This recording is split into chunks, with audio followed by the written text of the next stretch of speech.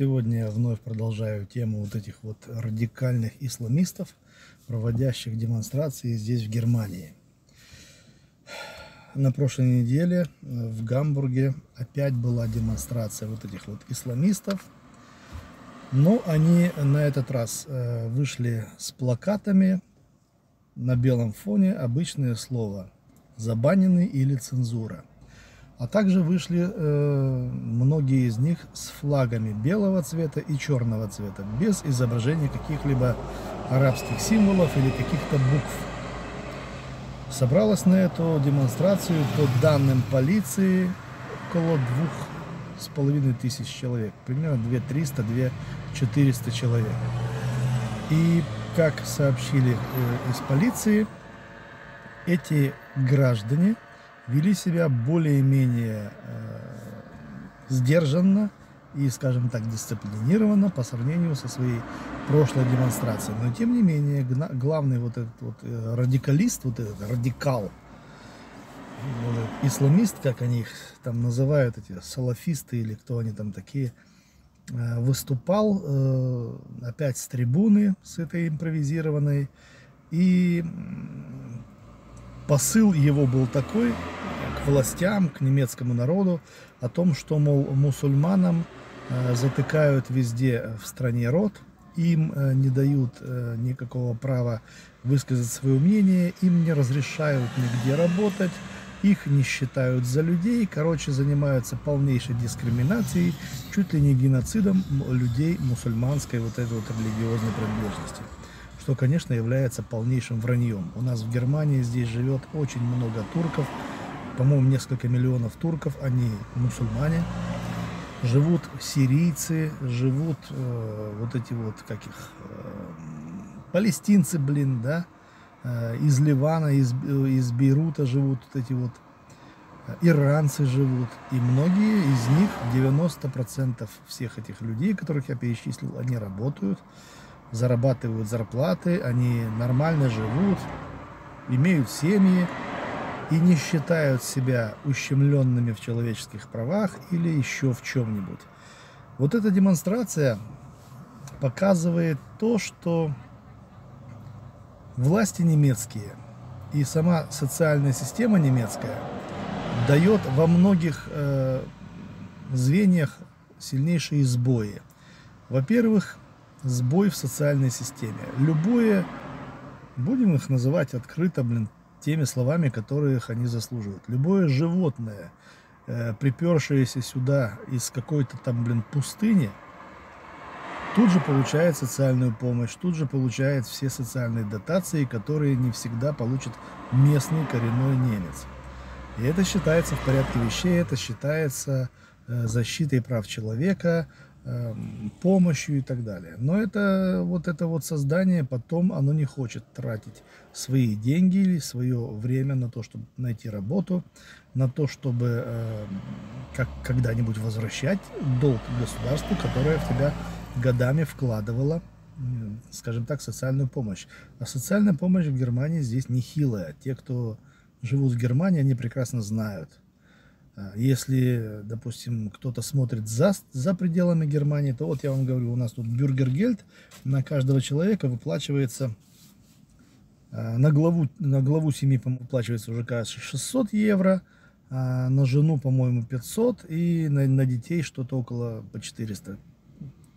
Я не знаю точно вот с этим бюргергельдом, как оно обходится, но тем не менее, это сумасшедшие деньги, плюс за них еще платят государство за квартиры. И вот эти вот, вот эти вот выродки, которые собираются на эти демонстрации, требуют, чтобы э, в, в немецком государстве было создано государство халифат, они, э, как сказала министр внутренних дел Германии Нэнси Фезер, они играют с огнем.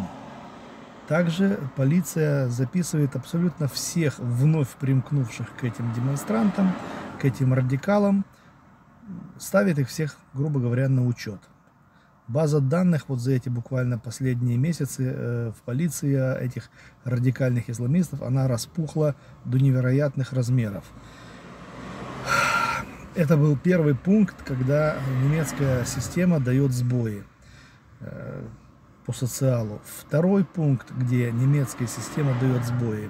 Очень многие вот эти вот мигранты или называющие себя мигрантами, или пытающиеся здесь получить э, убежище политическое или религиозное, приезжают сюда без всяких э, идентификационных номеров, удостоверений личности, бумаг и так далее. И доказать, что это именно тот человек, за которого он себя выдает, порой очень тяжело. Поэтому они здесь сидят по несколько лет, годами.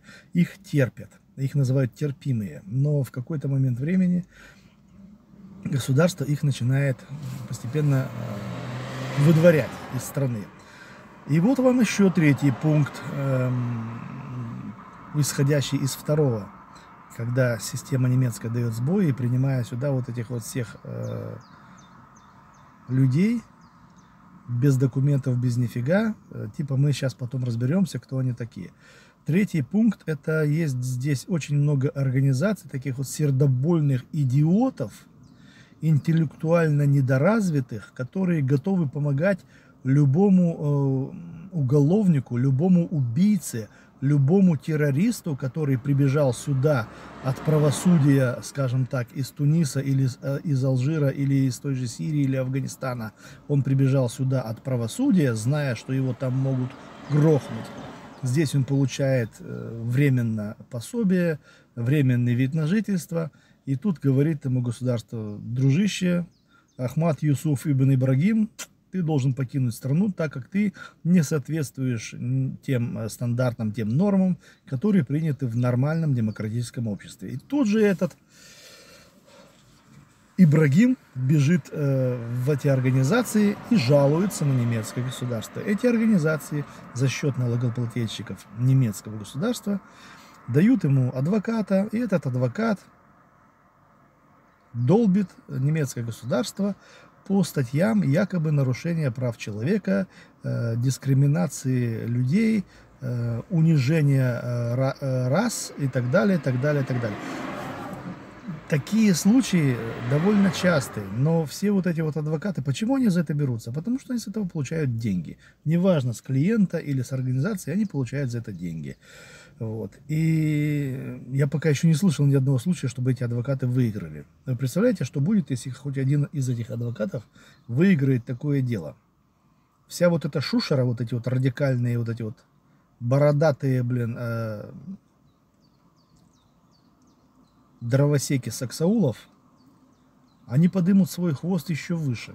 Поэтому, на мой, сколько вот я знаю, на моей памяти на моей памяти еще не было такого случая, чтобы адвокаты, вот, э, предоставленные вот этими сердобольными организациями, выиграли дело какого-то Абрек Ибрагима Мустафы Юсуфа, блин, против немецкого государства.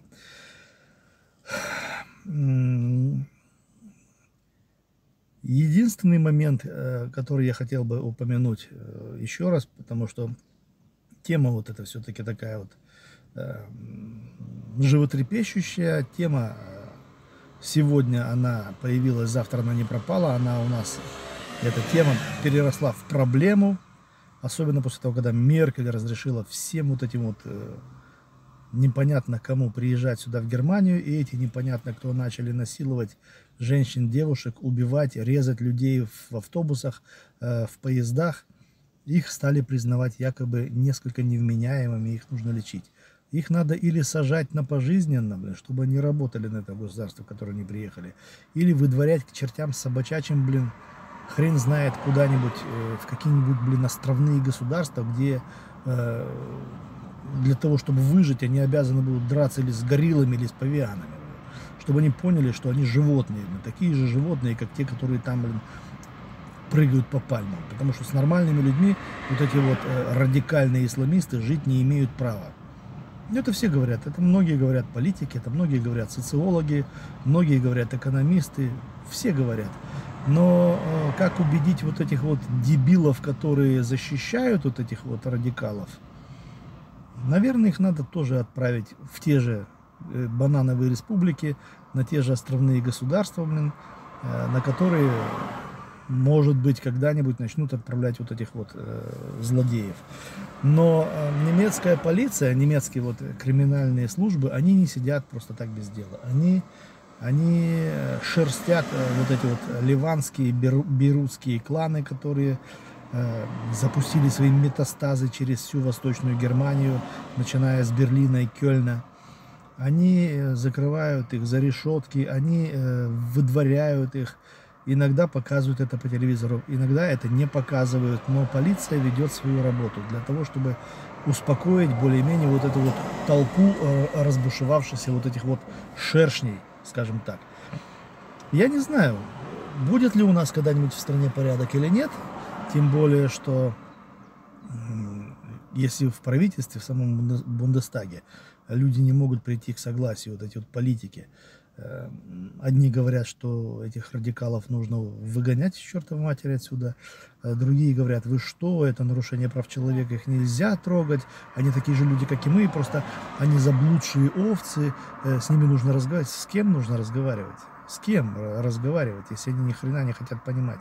И вот из-за того, что вот такие вот э, прения, распри вот эти вот идут в Бундестаге, в правительстве, происходит такой же бардак в стране. Когда правительство будет единогласно принимать решения по таким вот вопросам или проблемам, то тогда намного проще станет жить и намного безопаснее станет ходить по улицам.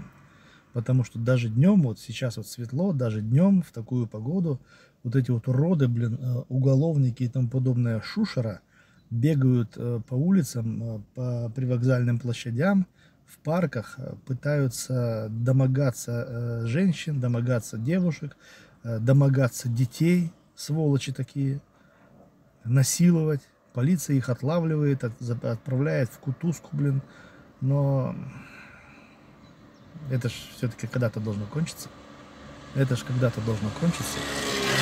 Я не знаю.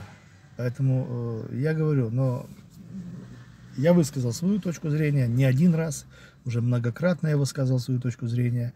И на канале под э, видео именно с такими вот темами я выставил жесткий фильтр для комментариев, поэтому если вы хотите что-то писать, подумайте несколько раз, как написать свой комментарий, чтобы он не ушел в спам, или в худшем случае я не отправил вместе с комментарием и вас в бан, потому что Э, если кто-то будет говорить, что типа я ненавистник э, или расовый, или я расист, или расовый какой-то там э, изгой, который ненавидит другие народы, э, этих вот товарищей, которые будут так писать, я просто-напросто буду к чертям собачьим удалять э, со своего канала. Мне они нафиг тут не нужны, потому что, как я уже говорил в одном из видео, живя где-нибудь в Туркменистане, в Таджикистане, блин, где-нибудь в Киргизии, блин, или, я не знаю, где-то, блин, на Магадане, блин, э, то есть в Магадане или на Сахалине, э, безвылазно, блин, и говорить о том, что ты прекрасно знаешь всю ситуацию э, в Германии, это глупо. Поэтому таких людей я даже не слушаю, я их просто-напросто вышвыриваю с канала. Особенно тех, кто пытается меня поучать, что нужно жить миролюбиво, христианская религия э, именно требует, чтобы э, к людям относились хорошо и так далее. Того же требует ислам, но только на бумаге. Но только на бумаге. На словах, на бумаге, а на деле они просто-напросто с удовольствием будут резать всех, так же, как режут баранов, для того, чтобы пожарить с них шашлык. Вот такие вот дела. Всем удачи. Пока.